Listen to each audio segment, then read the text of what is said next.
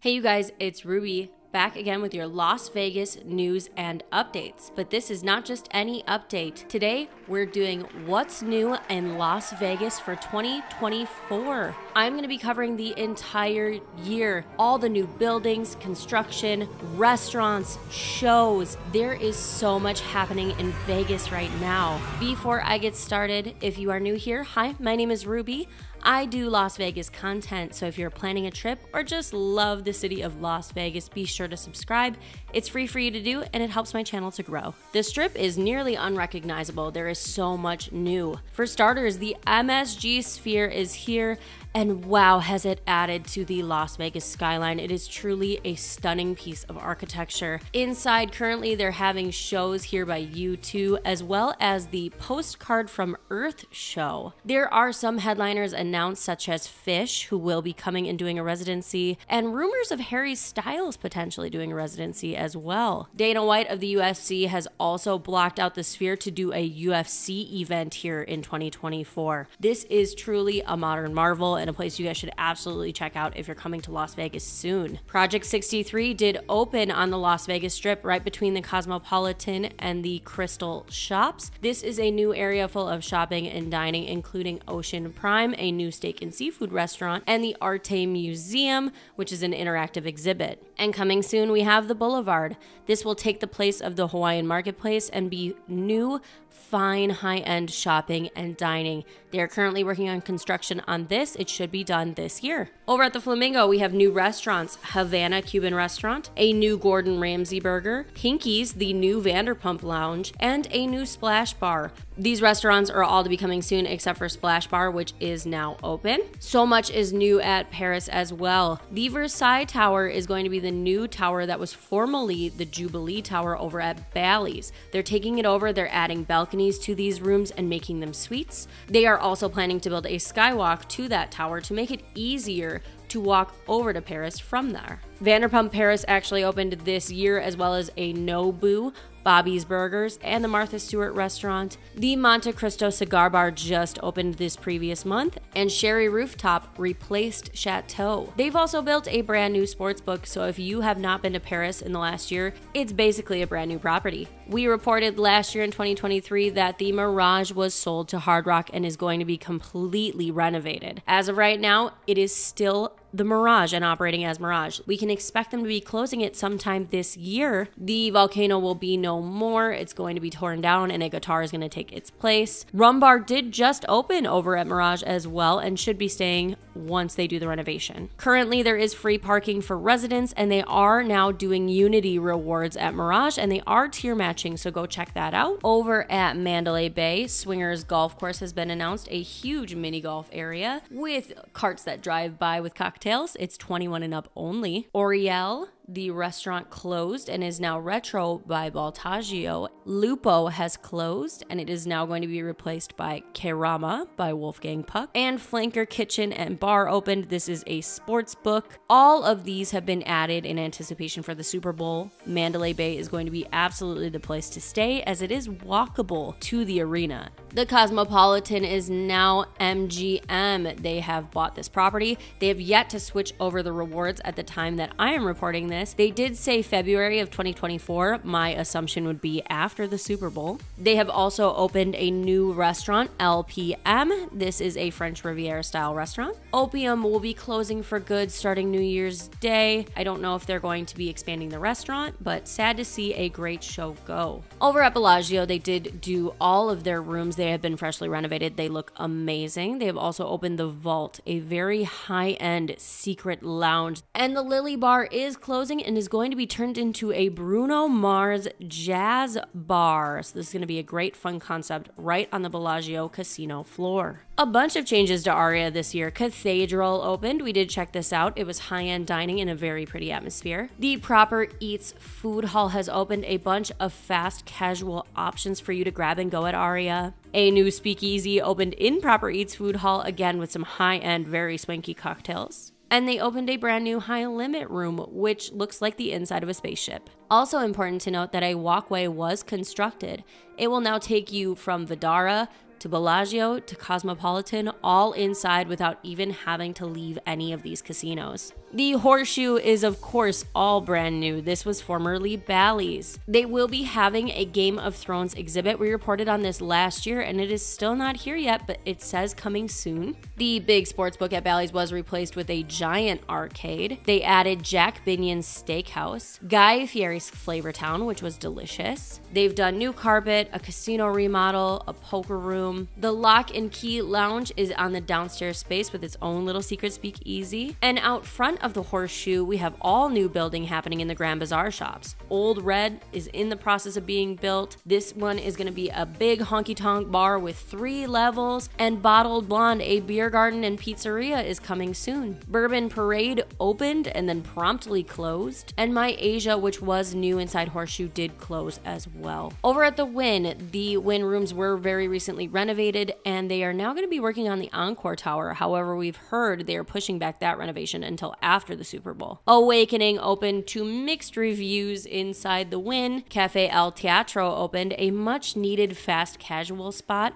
I really like the pretzels here and the cookies. David Blaine will be coming to the Wynn this year. He is moving his residency from over at Resorts World. The Wynn is charging for parking now. It is free for the first three hours. After that, they are charging. Over at Caesars, a ton of new construction has happened. They have a brand new front entrance and added a lobby bar. The table games area got a refresh. Peter Luger's has opened inside of Caesars. This is a New York steakhouse staple. As did Stanton Social Prime, a 20s bougie lounge. There were talks of tearing down the rotunda for F1, and we still haven't heard whether that is going to be happening. That is that little building out front. In the food court, they added a chicken guy, They've also opened Brasserie B, and residencies for Garth Brooks and Adele are still returning. In the Forum shops, what's new? Electric Playhouse, an interactive exhibit. Planet Hollywood restaurant closed, and Zaytinya, a new restaurant by Jose Andres, is coming soon. At the LINQ, we have a new announced disco show that will be coming. And the casino and lounge areas have been redesigned. They have added to the casino floor, taken away from their sports book, and they're currently still working on some construction. At the MGM Grand, the West Tower got a huge refresh. The rooms look brand new, and they are now going to be renovating their standard rooms. They closed level up at MGM Grand, but they will be adding a voodoo donut. Harrah's looks like an all new property as well. Gordon Ramsay Kitchen opened here in the buffet space. They built a brand new high limit room. The Porte Cochere is being remodeled. They opened a high end bar called The Lounge for swanky cocktails. Winnie and Buck, the beloved statues, are gone. And Hyprov, a new show, has come to their theater. Over at Luxor Play, Playground has been added to the second floor. This is going to be a family friendly place during the day and at night, an adults only playground with cocktails. Westgate is debuting several new themed suites, including a Christmas suite, a Halloween suite, and a cowboy suite. New York, New York had some major renovations. They have renovated all of the rooms. They look absolutely lovely. They have also worked on their food court on the second floor, added a Luke's Lobster out front, and removed the water features underneath the Statue of Liberty out front.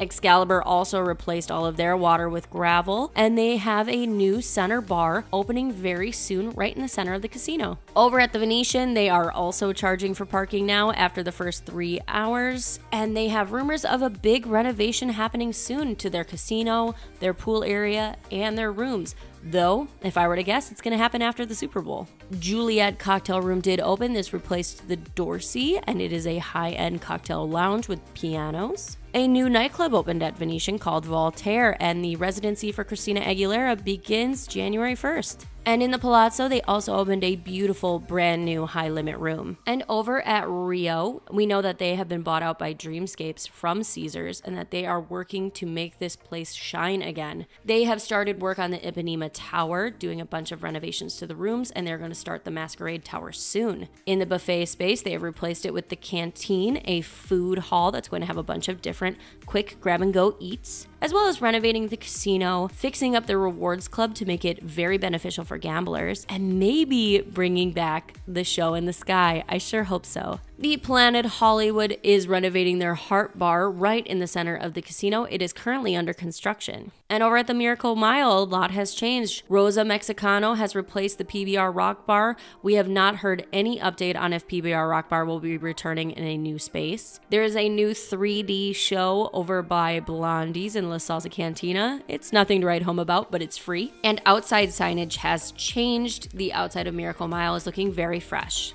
The Waldorf Astoria has a brand new gorgeous lobby right on the first floor, and we got the scoop that they are going to be renovating the entire property, adding new dining, including a new steakhouse. In downtown news, there are big changes happening there too. Vegas is just brand new. Plaza has the new Pink Box Donuts, the brand new Carousel Bar, the BC Slots non smoking slot area, and the new Oscars patio. The Fremont Hotel built a brand new food hall, renovated all their rooms, added a new sports book, and renovated their full casino. It is looking very fresh. Binion's brought the million dollars back finally. It is free to take a picture with.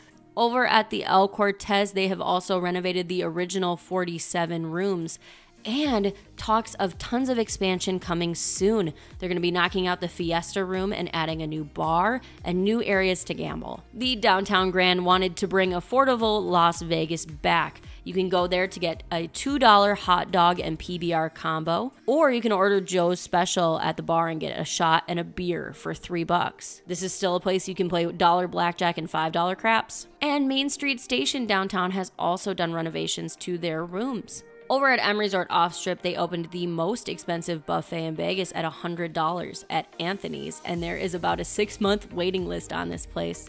There is also talks of a brand new tower happening at M Resort. They're going to be expanding and adding more rooms. Over at Red Rock, everything is new. They have opened Lotus of Siam, an oyster bar, Naxos, Leoncito, and Rouge Room, a bougie new lounge. And they will soon be bringing Federal Donuts with chicken sandwiches. At Resorts World New, we have Juniors, which has replaced the cafe here, and you can now get American classics like breakfast, lunch, dinner, and cheesecake. A tiki bar opened. They do have parking fees now, unless you go and sign up for their absolutely free rewards program, in which case it is still free. Tiesto and Zedd have announced that they are leaving for the brand new Fontainebleau, but rumors have circulated that Britney Spears or Ariana Grande could be doing a residency. Along with the hotels that you know and love, there are new hotels that have opened this year and more to come in the next years. Durango opened here December 5th. This is an off strip stations property. And Fontainebleau, the much anticipated 20 year in the making mega hotel,